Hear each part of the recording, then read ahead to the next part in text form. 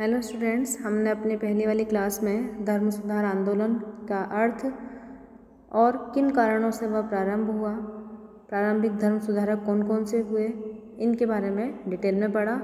अब हम लोग पढ़ेंगे कि धर्म सुधार आंदोलन में मार्टिन लूथर की क्या भूमिका रही और प्रतिवादी धर्म सुधार आंदोलन क्या था? इनके बारे में हम लोग डिटेल में पढ़ेंगे क्योंकि इनके ये दो ऐसे टॉपिक हैं जिससे परीक्षा में हर वर्ष एक न एक क्वेश्चन पूछा जाता है।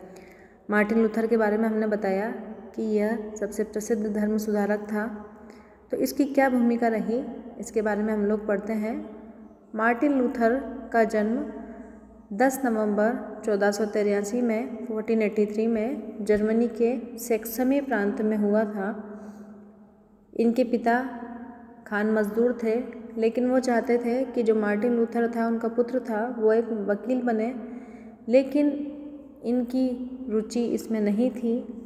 इन्होंने 1505 में एरफर्ट विश्वविद्यालय से धर्मशास्त्र की शिक्षा प्राप्त की और 1508 में ये विटनवर्ग विश्वविद्यालय में धर्मशास्त्र के प्रोफेसर नियुक्त हुए और बाइबल के अध्ययन में इन्होंने दक्षता प्राप्त की। वहाँ रहते हुए इन्होंने कई राजनीतिक विचारकों, अरस्तु, प्लेटो आदि के विचारों का, उनके दर्शन का अध्ययन किया। प्रारंभ में जो मार्टिन लूथर थे, वो रोमन कैथोलिक चर्च के कट्टर अनुयायी थे। कैथोलिक धर्म में उनकी गहरी आस्था थी, लेकिन जब 1511-12 में वो रोम के भ्रमण के लिए गए तो वहाँ उन्होंने चर्च की विलासिता, पोप के भ्रष्टाचार को देखा और उसको देखकर उन्हें काफ़ी आश्चर्य हुआ कि किस तरह से सब धर्म के सर्वोच्च कहने वा, कहलाने वाले पोप और चर्च इस तरह का भ्रष्ट जीवन जी सकते हैं। यहीं से उनकी कैथोलिक धर्म के प्रति आस्था थोड़ी कम हुई। इसी दौरान जब वे वापस आए तो पोप लियो दशम ने एल्बर्ट और टेडजल को पाप विमोचन पत्रों की बिक्री का कार्य सौंपा हुआ था। तो जॉन टेडजल ने अपना सहयोगी बनाने के लिए, पाप विमोचन पत्रों की बिक्री करने के लिए यह डॉन टेडजल विटनबर्ग पहुँचा और उसने वहाँ पर मार्टिन लूथर से यह सहयोग मांगा कि तुम मुझे पाप विमोचन पत्रों की बिक्री में सहयोग दो। लोगों को इस बात के लिए तैयार करो कि वो पाप विमोचन पत्र खरीदें ताकि उनके जो पाप हैं वो कम हो सकें। लेकिन मार्टिन लूथर की मानसिकता इसका, इसके बिल्कुल विरोधी थी। वो ये नहीं मानता था कि पाप विमोचन पत्रों को खरीद कर पापों से मुक्ति पाई जा सकती है, क्योंकि उसका मानना था कि इसके लिए अच्छे कर्म और ईश्वर की दया ज़रूरी है। तो मार्टिन लूथर ने क्या किया? 31 अक्टूबर 1517 में 95 कथन या 95 थीसिस एक कागज़ पर लिखकर उसने विटनबर्ग चर्च के गेट पे लगा दिए। जो भी उसके दिमाग में था, इस पाप विमोचन पत्र के विरोध में, वो उन्होंने 95 थीसिस के नाम से चर्च के गेट पे लगा दिए। ये मूलतः लेटिन भाषा में लिखे गए थे। जो आ, उस समय पर आम जनता की भाषा नहीं थी जनसाधारण की भाषा नहीं थी अतः आम जनता को इन विचारों से परिचित कराने के लिए इनका जर्मन भाषा में अनुवाद किया गया और इनका काफ़ी बड़ी सीमा तक प्रचार प्रसार किया गया। इस तरह से क्या हुआ? जब उनकी शिक्षाओं का प्रसार हुआ तो मार्टिन लूथर के अनुयायियों को कि मतलब उनको जो मानने वाले लोग थे उन शिक्षाओं को मानने वाले लोग थे उनकी संख्या धीरे धीरे बढ़ने लगी। और इसी दौरान 1520 में मार्टिन लूथर ने क्या किया कि यूरोपीय देशों में ईसाई जितने भी ईसाई राज, राजाओं के राजा थे उनको एक पत्र लिखा खुला पत्र लिखा उनको।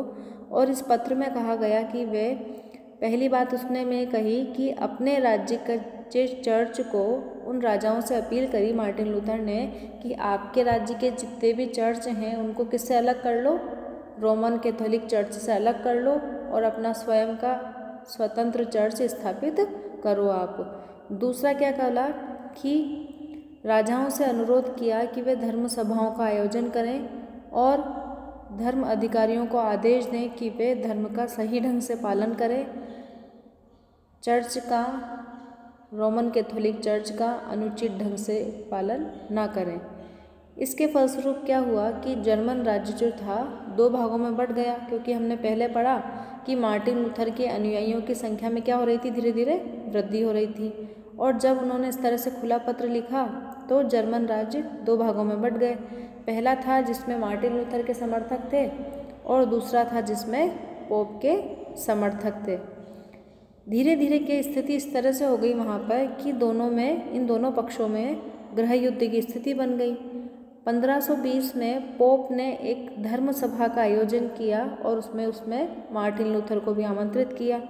लेकिन सेक्सनी प्रांत के शासक थे फेडरिक। उन्होंने मना किया मार्टिन लूथर को कि आप इस, का इस सभा में शामिल होना सही नहीं है। आप इस सभा में शामिल नहीं हो। उन्होंने मना किया। पोप ने मार्टिन लूथर को अपना जो धार्मिक आदेश था, उस, उनका, उसको वापस लेने के लिए कहा कि आपके पास साठ दिन है। साठ दिन में आप सोच लीजिए अच्छे से और वापस साठ दिन में विचार विमर्श करके अपने आदेश को वापस ले लो। लेकिन मार्टिन लूथर ने इसको स्वीकार नहीं किया। तो पोप ने क्या किया बदले में? साठ दिन बाद पोप ने एक आदेश जारी किया, जिसके अनुसार लूथर को धर्म से बहिष्कृत कर दिया गया। इस आदेश को किस नाम से जाना जाता है? पेपल बुल तो छोटे क्वेश्चन में पूछा जा सकता है कि पेपल बुल क्या था? जिस आदेश के द्वारा मार्टिन लूथर को पोप द्वारा धर्म से बहिष्कृत किया गया, उसे पेपल बुल के नाम से जाना जाता है। तो इस, जब उनको धर्म से बहिष्कृत कर दिया तो उसके विरोध में मार्टिन लूथर ने क्या किया? 10 दिसंबर 1520 के दिन वो विटनबर्ग विश्वविद्यालय के कैंपस में आए। उन्होंने शिक्षकों जितने भी शिक्षक थे, विद्यार्थी थे और कोई कुछ आम नागरिक थे, उनके सामने पेपल बुल को मतलब पोप के आदेश को सार्वजनिक रूप से उन्होंने क्या किया? जला दिया। ये काम पोप और रोम के विरुद्ध सीधे तौर पर युद्ध की घोषणा थी। रोमन साम्राज्य का शासक था चार्ल्स प्रथम। वो पोप का कट्टर अनुयायी था। तो उसने क्या किया 1521 में वम्स नामक स्थान पर एक राज्य परिषद की बैठक बुलाई, जिसमें उसने मार्टिन मार्टिन लूथर को भी आमंत्रित किया। लेकिन लेकिन क्या हुआ कि मार्टिन लूथर इसमें नहीं गए, उन्होंने शामिल नहीं हुए।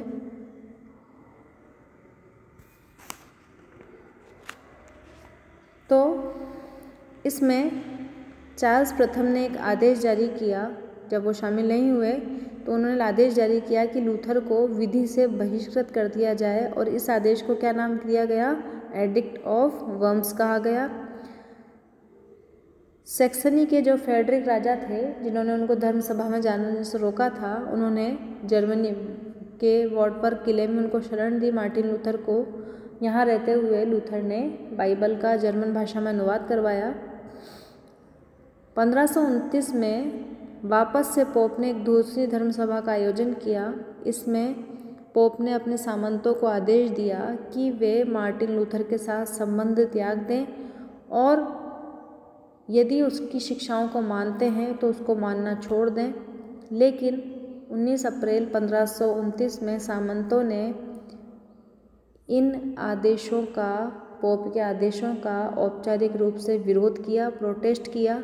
और यहीं से प्रोटेस्टेंट शब्द का जन्म हुआ। पंद्रह में जब ध्यान रखना, प्रोटेस्टेंट शब्द का जन्म यहीं हुआ। पंद्रह में पंद्रह में मार्टिन लूथर के प्रयासों से, पंद्रह से छियालीस के दौरान एक पृथक चर्च स्थापित हुई, जिसे क्या कहा गया? Protestant church. अभी तक क्या था बच्चों? केवल कैथोलिक चर्च था। उसके विरोध के फलस्वरूप किसका जन्म हुआ? प्रोटेस्टेंट चर्च का जन्म हुआ। 1546 में मार्टिन लूथर की मृत्यु हो गई।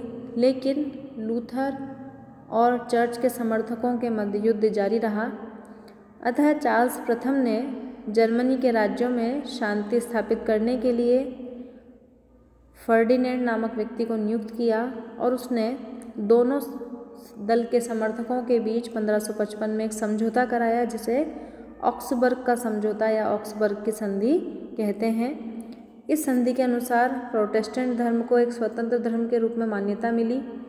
चर्च की संपत्ति चर्च के पास रहेगी, लेकिन भविष्य में वह और अधिक संपत्ति पर अधिकार नहीं कर सकेगा। राजा का धर्म ही राज्य का धर्म होगा। इस तरह से मार्टिन लूथर ने धर्म सुधार आंदोलन के दौरान बच्चों देखते हैं हम, काफ़ी महत्वपूर्ण कार्य किए। खुला विरोध किया उन्होंने चर्च का और पोप का, किसी भी बात से वो डरे नहीं। इसी का परिणाम था कि एक और नया चर्च का उद्भव हुआ, जो सुधारवादी रूप में था, प्रोटेस्टेंट चर्च का। इस तरह से मार्टिन लूथर का धर्म सुधार के क्षेत्र में काफ़ी महत्वपूर्ण योगदान माना जा सकता है। अब हम लोग पढ़ेंगे प्रतिवादी धर्म सुधार आंदोलन, क्या था? अब तक हम पढ़ रहे थे कि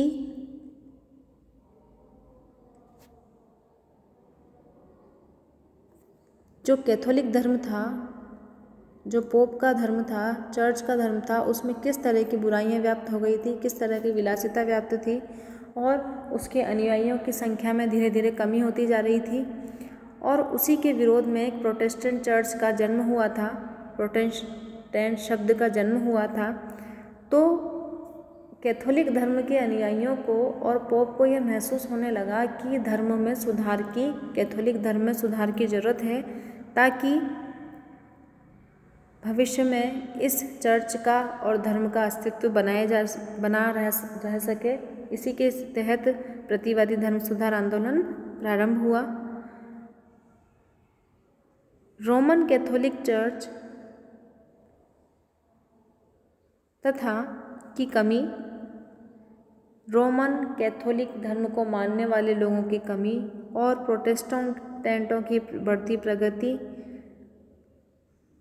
और चर्च से अलग होने वाले व्यक्तियों की बढ़ती संख्या को देखते हुए कैथोलिक धर्म में सुधार लाने के प्रयास किए गए, जिसे प्रतिवादी धर्म सुधार आंदोलन का नाम दिया गया। ये छोटे क्वेश्चन में लिख सकते हो आप लोग। इसके तहत कैथोलिक धर्म में सुधार के लिए क्या क्या प्रयास हुए?